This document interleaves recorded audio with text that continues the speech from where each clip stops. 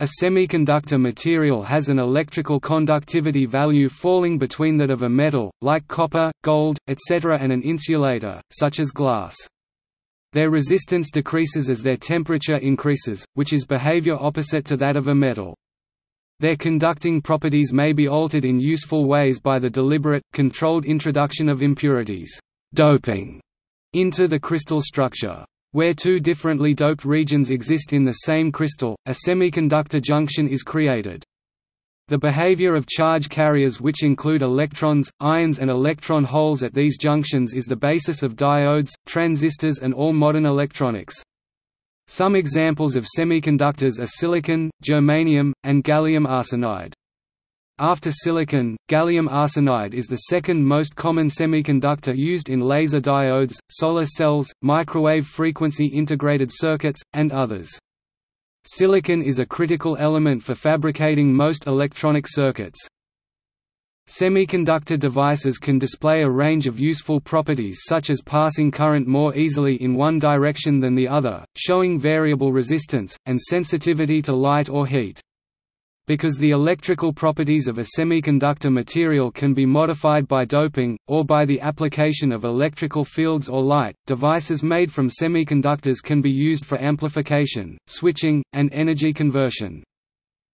The conductivity of silicon is increased by adding a small amount of pentavalent antimony, phosphorus, or arsenic or trivalent boron, gallium, indium atoms part in 108.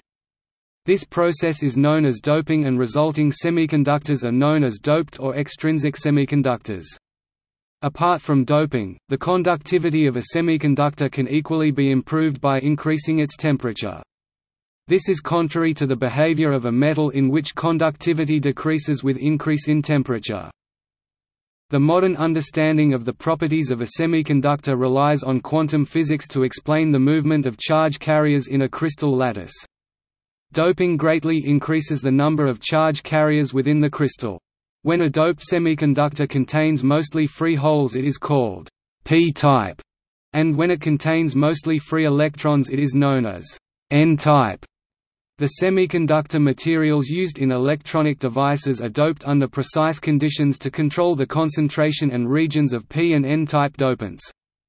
A single semiconductor crystal can have many p and n-type regions. The p-n junctions between these regions are responsible for the useful electronic behavior. Although some pure elements and many compounds display semiconductor properties, silicon, germanium, and compounds of gallium are the most widely used in electronic devices. Elements near the so-called metalloid staircase where the metalloids are located on the periodic table, are usually used as semiconductors. Some of the properties of semiconductor materials were observed throughout the mid-19th and first decades of the 20th century. The first practical application of semiconductors in electronics was the 1904 development of the cat's whisker detector, a primitive semiconductor diode used in early radio receivers. Developments in quantum physics in turn allowed the development of the transistor in 1947 and the integrated circuit in 1958.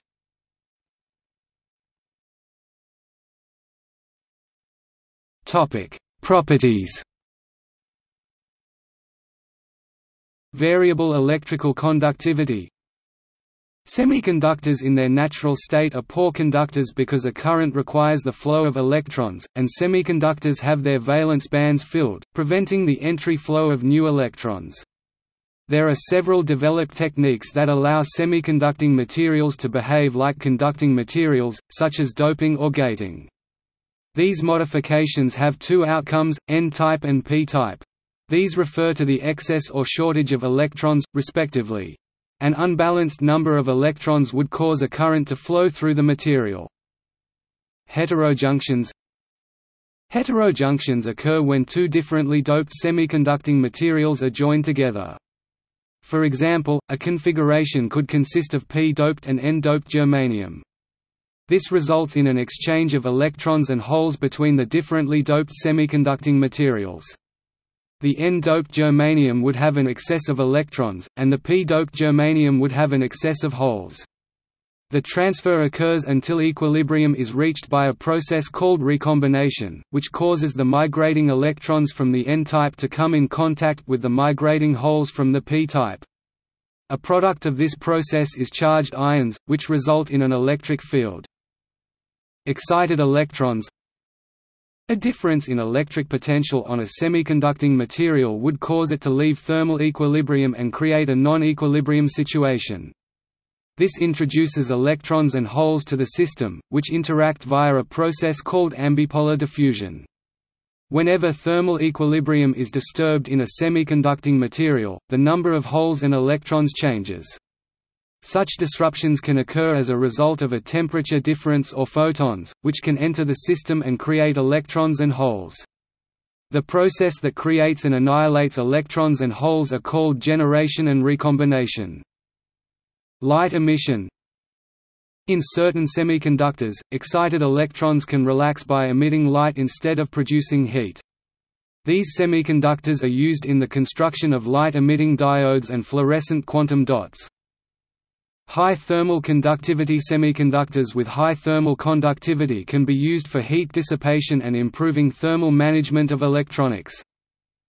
Thermal energy conversion Semiconductors have large thermoelectric power factors making them useful in thermoelectric generators, as well as high thermoelectric figures of merit making them useful in thermoelectric coolers.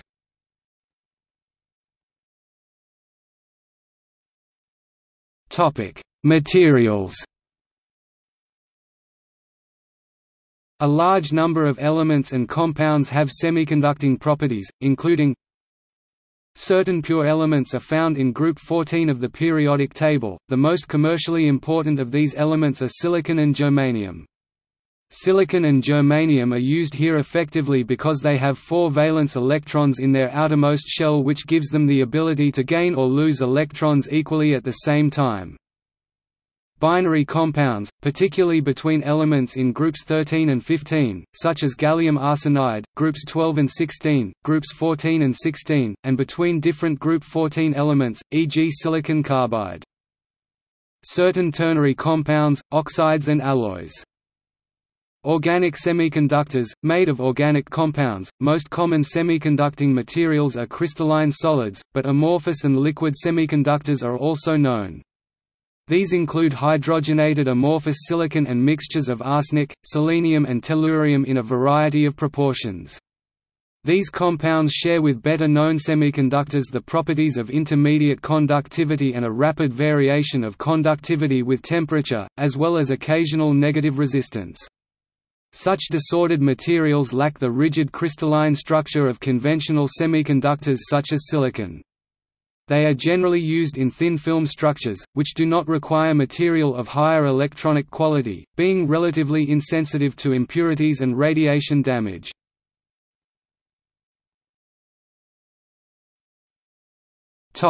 Preparation of semiconductor materials Almost all of today's electronic technology involves the use of semiconductors, with the most important aspect being the integrated circuit IC, which are found in laptops, scanners, cell phones, etc. Semiconductors for ICs are mass-produced. To create an ideal semiconducting material, chemical purity is paramount. Any small imperfection can have a drastic effect on how the semiconducting material behaves due to the scale at which the materials are used. A high degree of crystalline perfection is also required, since faults in crystal structure, such as dislocations, twins, and stacking faults, interfere with the semiconducting properties of the material. Crystalline faults are a major cause of defective semiconductor devices. The larger the crystal, the more difficult it is to achieve the necessary perfection.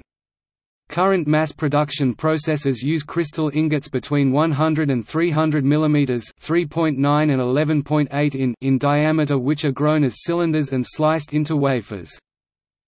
There is a combination of processes that is used to prepare semiconducting materials for ICs. One process is called thermal oxidation, which forms silicon dioxide on the surface of the silicon. This is used as a gate insulator and field oxide. Other processes are called photomasks and photolithography. This process is what creates the patterns on the circuitry in the integrated circuit. Ultraviolet light is used along with a photoresist layer to create a chemical change that generates the patterns for the circuit. Etching is the next process that is required. The part of the silicon that was not covered by the photoresist layer from the previous step can now be etched. The main process typically used today is called plasma etching. Plasma etching usually involves an etch gas pumped in a low-pressure chamber to create plasma. A common etch gas is chlorofluorocarbon, or more commonly known freon. A high radio frequency voltage between the cathode and anode is what creates the plasma in the chamber. The silicon wafer is located on the cathode, which causes it to be hit by the positively charged ions that are released from the plasma. The end result is silicon that is etched anisotropically. The last process is called diffusion. This is the process that gives the semiconducting material its desired semiconducting properties. It is also known as doping. The process introduces an impure atom to the system, which creates the p-n junction. In order to get the impure atoms embedded in the silicon wafer, the wafer is first put in a 1100 degrees Celsius chamber. The atoms are injected in and eventually diffuse with the silicon. After the process is completed and the silicon has reached room temperature, the doping process is done and the semiconducting material is ready to be used in an integrated circuit.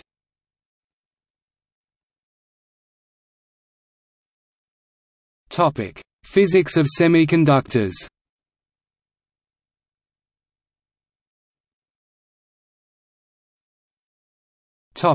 Energy bands and electrical conduction Semiconductors are defined by their unique electric conductive behavior, somewhere between that of a conductor and an insulator. The differences between these materials can be understood in terms of the quantum states for electrons, each of which may contain 0 or 1 electron by the Pauli exclusion principle.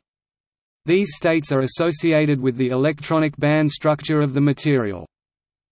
Electrical conductivity arises due to the presence of electrons in states that are delocalized extending through the material, however in order to transport electrons a state must be partially filled, containing an electron only part of the time. If the state is always occupied with an electron, then it is inert, blocking the passage of other electrons via that state. The energies of these quantum states are critical, since a state is partially filled only if its energy is near the Fermi level see Fermi-Dirac statistics. High conductivity in a material comes from it having many partially filled states and much state delocalization. Metals are good electrical conductors and have many partially filled states with energies near their Fermi level. Insulators, by contrast, have few partially filled states, their Fermi levels sit within band gaps with few energy states to occupy. Importantly, an insulator can be made to conduct by increasing its temperature. Heating provides energy to promote some electrons across the band gap, inducing partially filled states in both the band of states beneath the band gap valence band and the band of states above the band gap conduction band. An intrinsic semiconductor has a band gap that is smaller than that of an insulator and at room temperature significant numbers of electrons can be excited to cross the band gap. A pure semiconductor, however, is not very useful, as it is neither a very good insulator nor a very good conductor. However, one important feature of semiconductors and some insulators, known as semi-insulators is that their conductivity can be increased and controlled by doping with impurities and gating with electric fields. Doping and gating move either the conduction or valence band much closer to the Fermi level, and greatly increase the number of partially filled states. Some wider band gap semiconductor materials are sometimes referred to as semi-insulators. When undoped, these have electrical conductivity nearer to that of electrical insulators, however they can be doped making them as useful as semiconductors. Semi-insulators find niche applications in microelectronics, such as substrates for HEMT. An example of a common semi-insulator is gallium arsenide. Some materials, such as titanium dioxide, can even be used as insulating materials for some applications, while being treated as wide-gap semiconductors for other applications.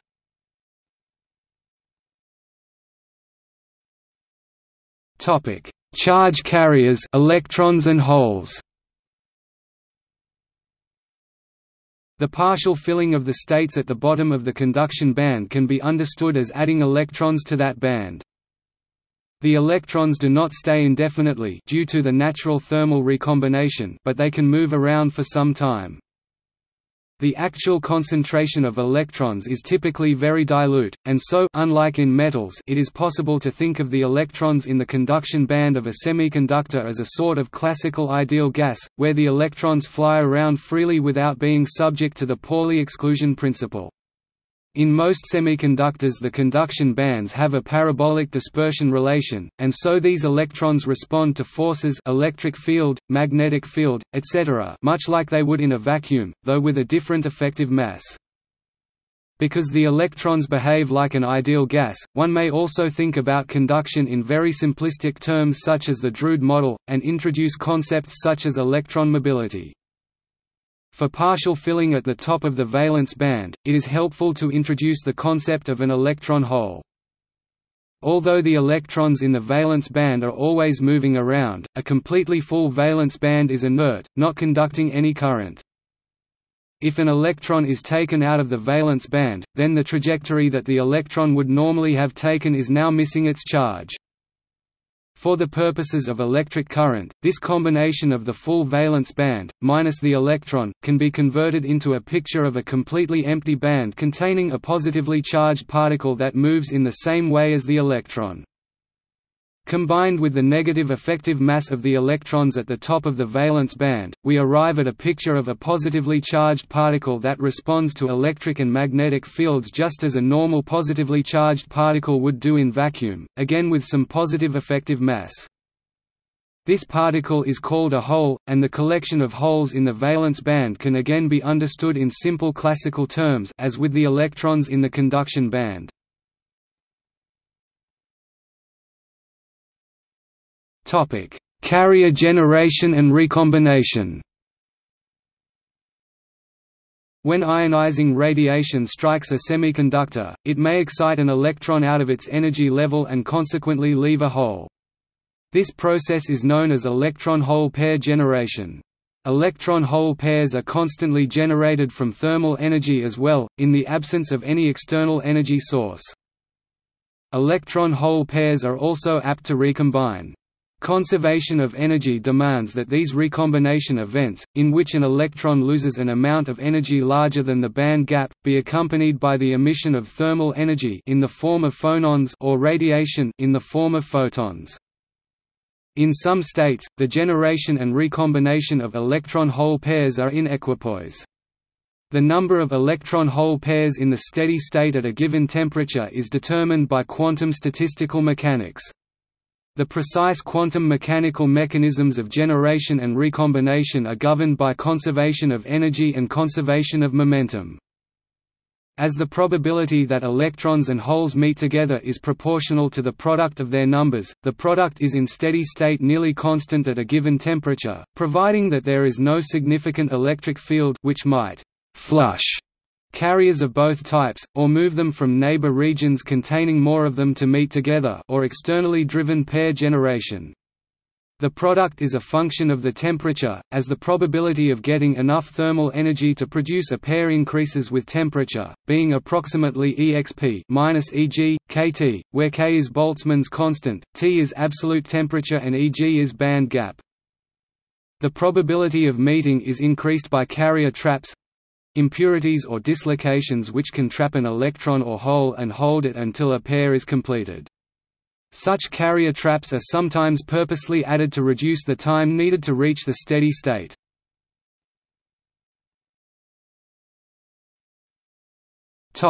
Doping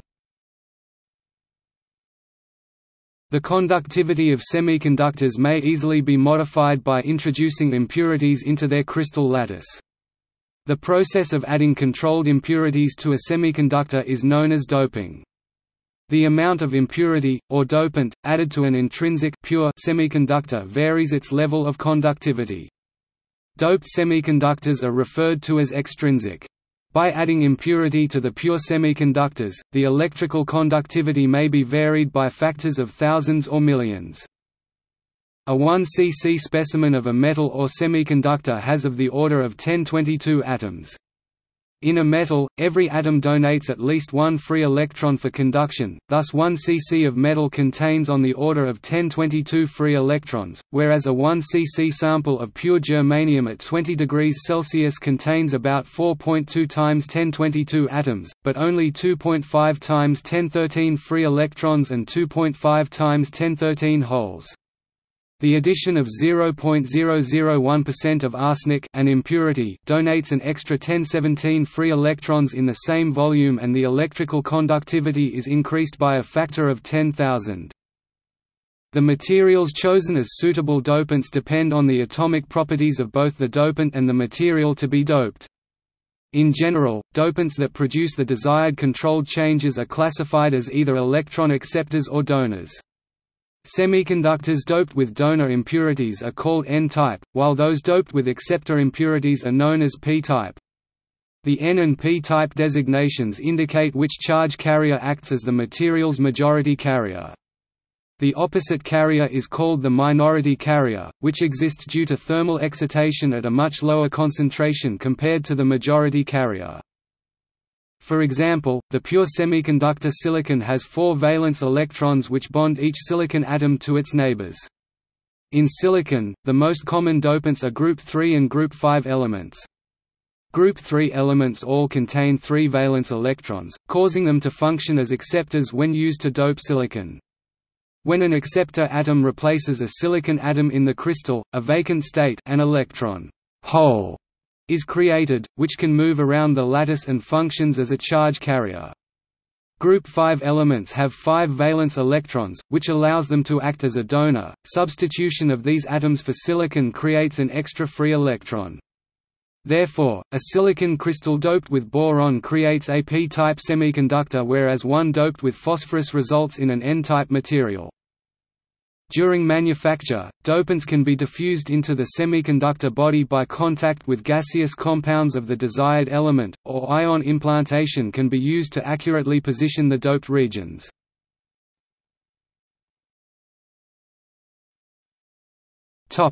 Amorphous semiconductors Some materials, when rapidly cooled to a glassy amorphous state, have semiconducting properties. These include B, C, GE, SE, TE and there are multiple theories to explain them.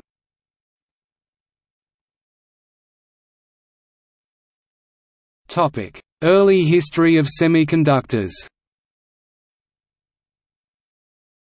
The history of the understanding of semiconductors begins with experiments on the electrical properties of materials.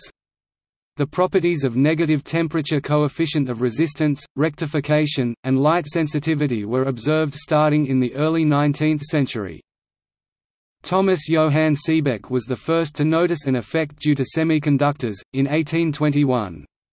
In 1833, Michael Faraday reported that the resistance of specimens of silver sulfide decreases when they are heated. This is contrary to the behavior of metallic substances such as copper. In 1839, Alexandre Edmond Becquerel reported observation of a voltage between a solid and a liquid electrolyte when struck by light, the photovoltaic effect. In 1873 Willoughby Smith observed that selenium resistors exhibit decreasing resistance when light falls on them.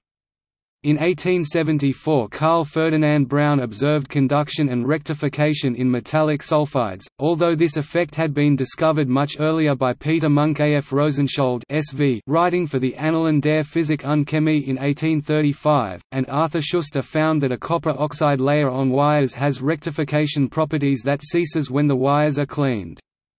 William Grills Adams and Richard Evans Day observed the photovoltaic effect in selenium in 1876. A unified explanation of these phenomena required a theory of solid state physics which developed greatly in the first half of the 20th century.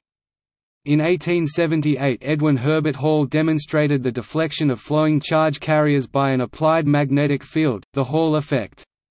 The discovery of the electron by J.J. Thomson in 1897 prompted theories of electron-based conduction in solids. Carl Baedeker, by observing a Hall effect with the reverse sign to that in metals, theorized that copper iodide had positive charge carriers. Johann Königsberger classified solid materials as metals, insulators and variable conductors. In 1914 although his student Joseph Weiss already introduced the term Halbleiter semiconductor in modern meaning in PhD thesis in 1910. Felix Bloch published a theory of the movement of electrons through atomic lattices in 1928.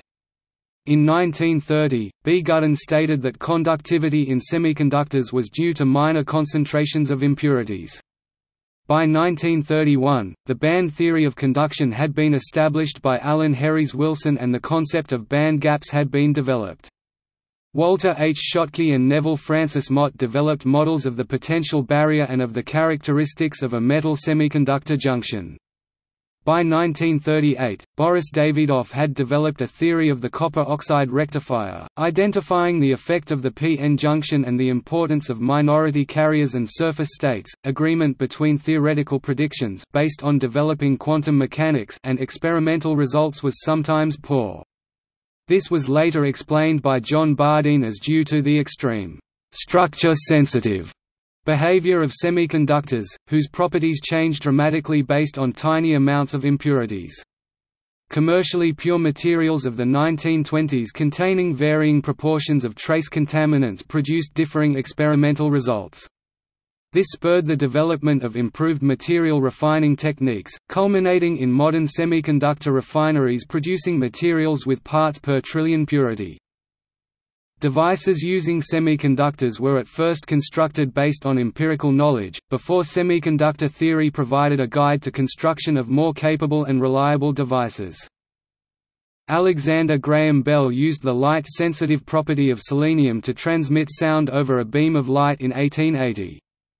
A working solar cell, of low efficiency, was constructed by Charles Fritts in 1883 using a metal plate coated with selenium and a thin layer of gold. The device became commercially useful in photographic light meters in the 1930s.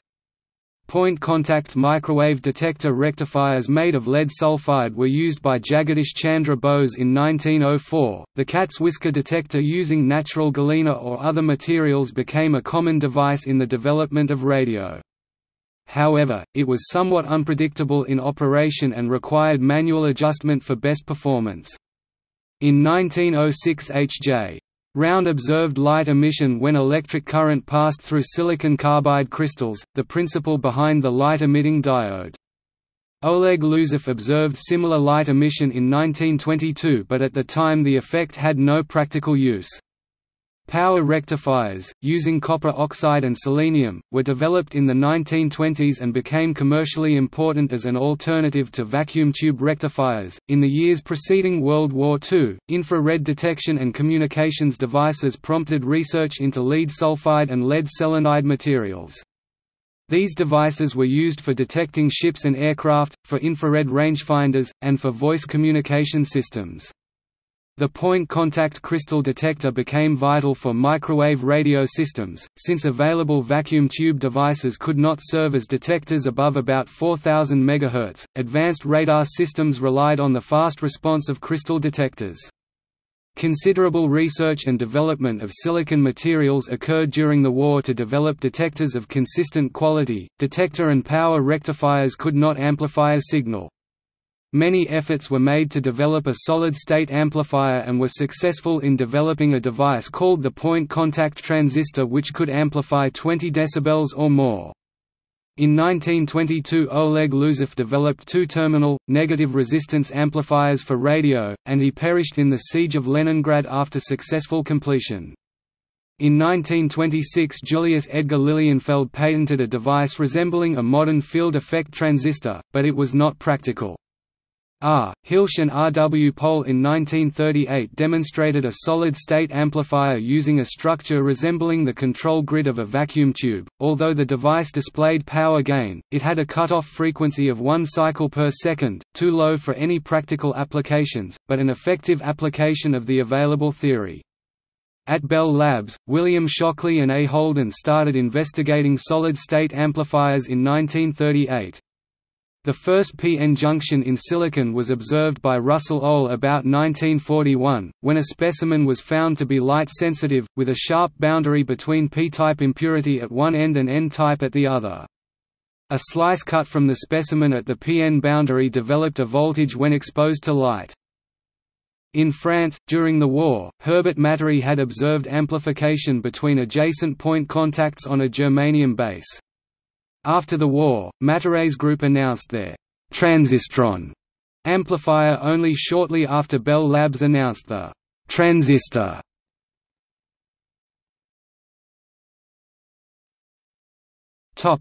See also. Semiconductor industry. Semiconductor characterization techniques